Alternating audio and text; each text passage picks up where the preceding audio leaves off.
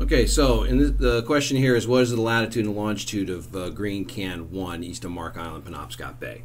So over here is Mark Island, all right, and here's the can. So first thing I'm going to do is going to measure the latitude. To do that, what I'm going to do is I'm going to put one point on my divider right on the little circle that indicates the position of the buoy. Now what I'm going to do is I'm going to adjust my dividers until the other point just touches this horizontal line. That's a latitude line. Now, I'm going to sweep it. You can see here it, it, it just goes past it. Here, I'm just to the south of it. So I've got to make it just perfect. And if I just kind of uh, rotate it a little bit, I get a spot that's tangent, touching that line in only one place. Okay, so now I'm going to move along this line until I get over here to my latitude scale. Okay, so here's my latitude scale, and I'm going to put the point right down uh, along this line that touches the edge. Okay, so now I'm going to read. So this is 10 minutes. Well, if I look down here, okay, this is 44 degrees 3 minutes. This is 10 minutes, so this is 44 degrees 9 minutes. So it's really 9 and change. Okay, so to figure out how much the change is in terms of seconds, what I'm going to do here is I'm going to, I, you see I flipped my dividers around and now I'm going to measure up from here.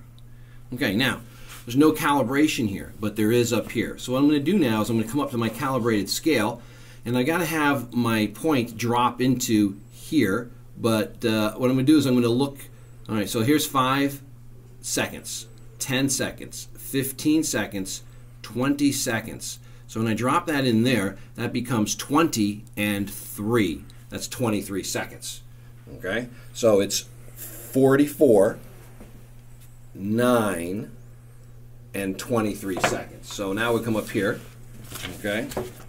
So 44 degrees, 9 minutes, 23 seconds. Now, if I want to put that into, that's degrees, minutes, seconds, I could put it in degrees, minutes, decimal uh, uh, seconds. So I would just take 23 and divide it by 60. I get 0.38 when I do that.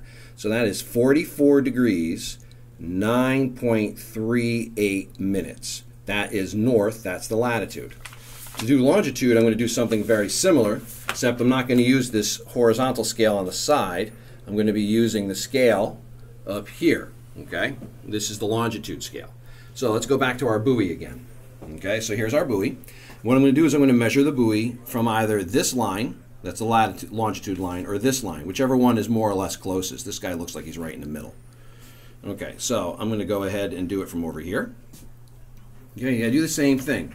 All right, when I get close, I start sweeping arcs until the, the, the second point just grazes the line. Ah, right there. Now I'm going to move in this direction, up this line. Okay, and here we go. We're at 55. All right, so this is, if we look here,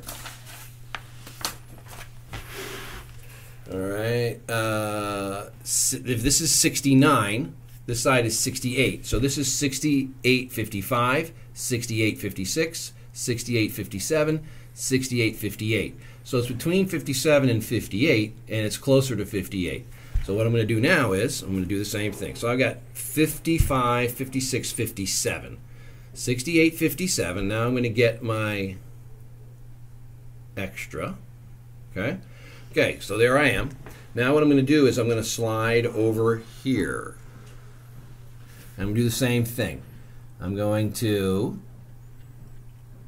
looks like 40 uh, looks like to me like that. So that is 40 minutes and one, two, three. So that's 43. Okay. So that was, we're going to go over here now. That was 68 degrees, 57 minutes, and 43 seconds. Okay? If I take 43 and I divide that by 60, I should get something about 0.75, a little bit less than 0.75. Um, so that would probably end up being 68 degrees, 57.7 minutes, and that would be west.